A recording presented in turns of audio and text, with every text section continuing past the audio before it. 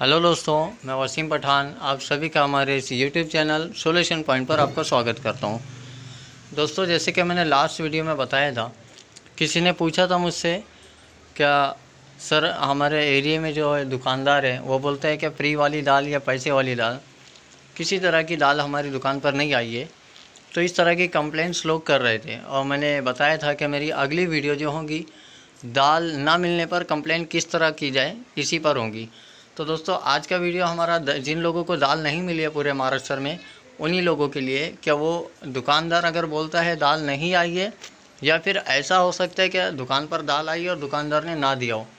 दोनों ही सूरत में हम कंप्लेंट कर सकते हैं अगर हमको दाल नहीं मिली है तो। तो दाल ना मिलने पर हमें कंप्लेंट देना है तो किस तरह से देंगे, आज हम वीडियो में इसी बात को जानेंगे। तो चलिए दोस्तों, स्क्रीन पर चलते हैं और देखते हैं कंप्लेंट किस तरह से देनी है। दोस्तों, हम स्क्रीन पर आ चुके हैं। हमारे सामने फॉर्मेट है।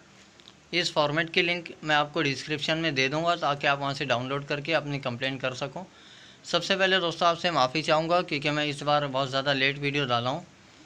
और बहुत सारी वजूहत है लेट वीडियो डालने की। खैर, ये हम यहाँ पर अपना फॉर्मेट को समझते हैं। यहाँ पे हमको नाम लिखना है, अपना पता लिखना है। और नाम और पता लिखने के बाद जब हम नीचे आएँगे तो यहाँ राशन कार्ड का नंबर लिखना है राशन कार्ड नंबर में हम अपना एस आर सी नंबर, बारह डिजिट का, वो डाल सकते हैं।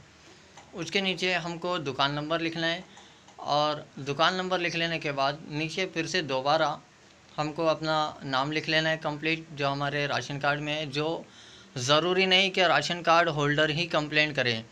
राशन कार्ड में जिन लोगों के नाम है, उसमें से कोई भी एक बंदा अप्लीकेनर बन सकता है। ज़रूरी नहीं जिसके नाम पे राशन कार्ड हो।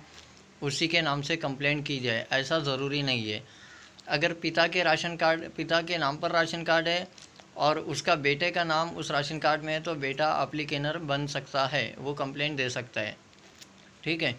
ये फॉर्म भर लेने के बाद हमको सबसे लास्ट में आना है और यहाँ साइन करना है सिग्नेचर करके राशन ऑफ़िस में जमा करना है और जमा करने के बाद इस कंप्लेंट की रिसीविंग कॉपी ले लेनी है। इस तरह से हमारी कंप्लेंट रजिस्टर हो जाती है। सात से आठ दिनों में कार्रवाई होगी। और कार्रवाई ना होने की सूरत में आगे क्या स्टेप लेनी है, आप कमेंट बॉक्स में पूछेंगे तो मैं ज़रूर बताऊँगा।